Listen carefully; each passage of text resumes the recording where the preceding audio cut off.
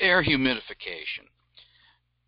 When it comes to any forced air heating system, one of the common complaints that mechanics may run into, you know, during the winter months is a, a customer complaining that the air is too dry. Uh, you know, static electricity. They got the, the a dry nose. Yeah, you know, just uncomfortable.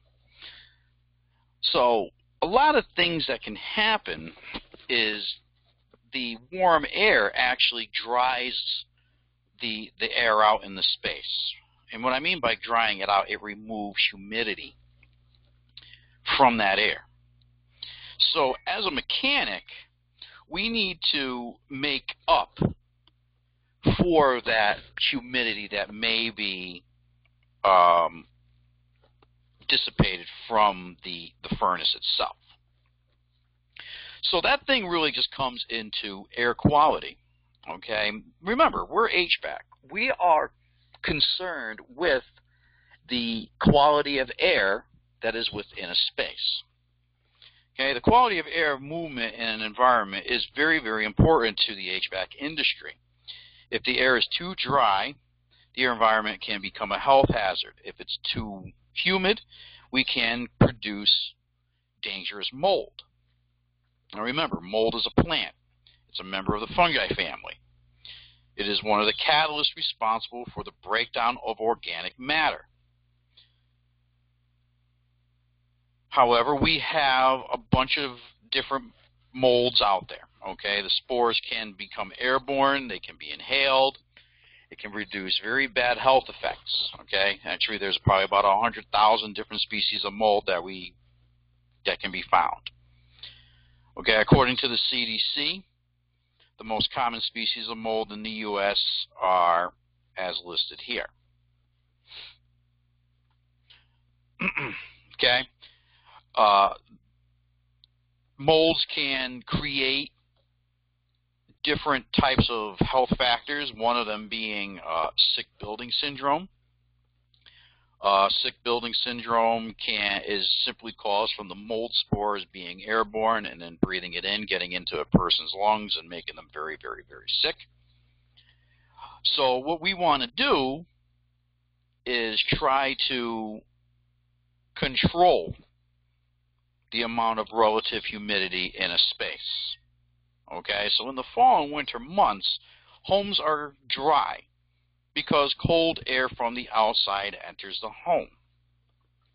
This air is artificially dried out when, the, when it is heated because the air expands, and this expansion spreads out your moisture. So the amount of moisture in the air is always expressed in, in relative humidity. Relative humidity is the percentage of moisture in the air in comparison with a, the specific capacity of the air to hold that moisture. So basically what we're trying to say here in simple terms, if the relative humidity is 50%, each cubic foot of air is holding half the moisture that it is capable of holding. So when we say that something is 100% humidity, it's raining out. The air can no longer hold the moisture. The relative humidity of the air decreases as the temperature of the air increases because the hotter air, the more humidity it can hold. Dry, warm air draws moisture from everything in the conditioned space, including your carpets, your furniture, any woodworking that you have in there, your plants, people, Okay? Static electricity is also more prevalent when you have dry air. So in order to prevent this, the air needs to have its moisture replenished. Now in HVAC, it is really recommended that we try to keep our relative humidity in our homes anywhere between 40 and 60%. You know, studies have shown that bacteria, viruses, fungi are all active when the relative humidity is above or below these limits. Okay, now air humidification. Years ago, in order to humidify a home, people placed a pan of water on top of a radiator or stove, and when it boiled off, the water vapor went into the air and it raised the humidity. The steam from the boiling water would evaporate into the air, raising the relative humidity in the air. And since that time, more efficient ways of humidifying a home have become out simply by installing humidifiers. Humidifiers produce moisture and make it available to the air by evaporation. The evaporating process is accelerated by using power or heat or bypassing air over a large area of water. The area of water can be increased by spreading it over pads or by atomization. So here we have an evaporative humidifier. Okay, the evaporative humidifier works on the principle of providing moisture on a surface called media and exposing it to dry air. This is normally done by forcing the air through or around the media and picking up the moisture from the media as a vapor or a gas. Here we have a bypass humidifier, and this simply all does relies on the difference in pressure between the supply and return air size of your ductwork. Okay, these types of humidifiers can be mounted on either the supply or the return air plenum. When we're piping these types of units, the pipe must be run from the plenum or duct where the humidifier is mounted to the other plenum. The pressure difference between the two ducts creates airflow through the humidifier, and this air is distributed throughout the house. Now, usually when you see these types of furn, uh, humidifiers on an actual gas furnace, they're probably going to be uh, most likely mounted on the supply uh, duct, simply because we want to use the positive side of the blower to push the water vapor through the ductwork and into all of the spaces in the home. You may also run into these types of plenum-mounted humidifiers. Okay, these types of humidifiers are going to be mounted on the supply or the return plenum. The, for, the furnace fan forces air through the media where the air picks up that moisture, and the air and moisture are then distributed throughout the conditioned space. You can have under uh, under mount type humidifiers, and these guys are going to be mounted on, on the underside of the supply duct so that the media expands into the airflow where the moisture is picked up and then distributed. Okay, humidifiers are always are available in a lot of different designs with various types of media. So in this picture here, is the underduct humidifier using a disc screen media. The disc screen is mounted on a rotating shaft that allows them to pick up moisture from the reservoir. The discs are separated to prevent electrolysis, which causes the minerals in the water to form on the media. Okay, the wobble from the disc mounted at, at an angle washes the minerals off and into the reservoir. Okay, the minerals can be then drained from that reservoir. Here you actually will have either a plate or a pad media. These are basically the same type of thing. The airstream in the duct causes the water to evaporate from the wick or the plates. Here we have an electric furnace uh, or heat pump installation. Okay, the temperature of the air in the duct is not as high as that in other types of hot air furnaces. So the electrically heated humidifier heats the water with an electric heat element causing it to evaporate and can be carried into the conditioned space. Another type of humidifier that is out there is your infrared humidifier. Okay, this type of humidifier is mounted in the duct and has infrared lamps with reflectors to reflect the infrared energy onto the water. The water will evaporate rapidly into the duct airstream and is carried throughout the conditioned space. So how do we control our humidifiers? Do we just let them run wild and rampant and just never shut off? No. We have to be able to shut them off when the humidity reaches a particular level. And in order to do that, we install a humidistat. Okay, the humidistat, just like it says, it monitors humidity.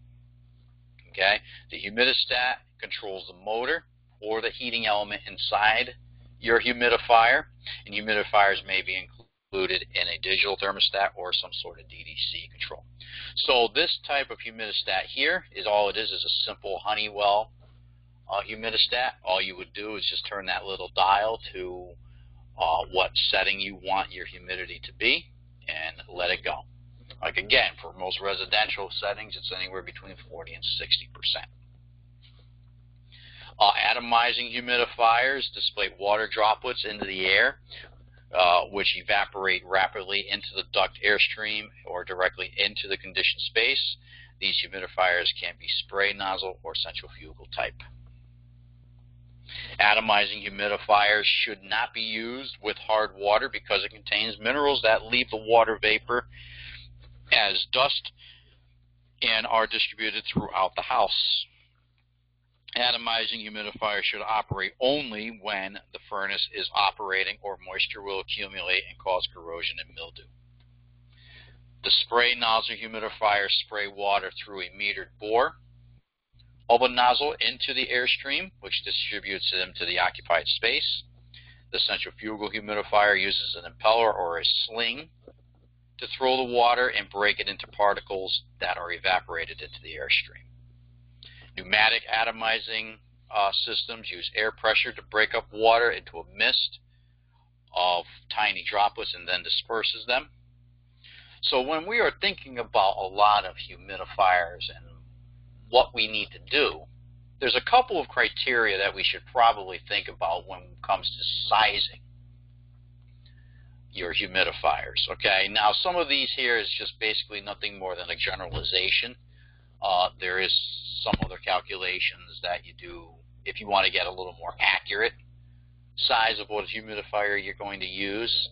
But here are just some simple guidelines that you can use to kind of get you in the ballpark. Obviously, we need to know the number of cubic feet of space that we need to humidify. Uh, this is determined by multiplying the number of heated square feet of the house by the ceiling height. So for example here, you have a 1,500 square foot house with 8 foot ceilings that has about 12,000 cubic feet of space that's going to need to be humidified. Uh, knowing the construction of the home, the type of insulation, building tightness, windows, and all that stuff is also good to know uh, when it comes to sizing your humidifiers. Uh, the amount of air changes per hour and the approximate lowest outdoor air temperature should also be calculated into that. And obviously the level of relative humidity that is desired for that particular space. Now, when it comes to servicing, troubleshooting, and preventative maintenance on your humidifiers, usually it's going to come down to an electrical issue or a component that is actually locked up or seized because of mineral buildup. Uh, locked conditions can cause a thermal overload protector to cut out. So obviously we're going to check for all of our overload protections, our circuit breakers. We're going to check our humidistat. We're going to check our voltages to make sure that there is any, if anything at all. Uh, you're going to check whether or not the motor is burned out by simply ohming them out. And you're going to clean and disinfect all of the components. Uh, if you have excessive dust because of dirty ductwork, that's going to also cause buildup on the media. You need to clean or replace the media anytime you're doing a service or maintenance on a humidifier. Excessive dust occurs in an atomizing humidifier. The wrong equipment can also be installed. Water flow issues, uh, you may have a defective float valve assembly. Sometimes all you need to do if you have a water flow or an overflow issue, you're going to clean or adjust it or simply replace it. Uh, moisture in or around the ductwork. Uh, this can happen uh, with atomizing humidifiers. You're going to check the control to see if it operates at other times, such as during our cooling modes. It could possibly be wired wrong. Uh, you can have a restricted airflow, which can also cause the problem low or high humidity levels, uh, you're going to check the calibration of the humidistat using a sling psychrometer. Uh, if they are out of calibration, uh, you can either try to adjust it or simply replace the humidistat. Okay, you're going to also make sure ensure that the humidifier is clean and operating properly.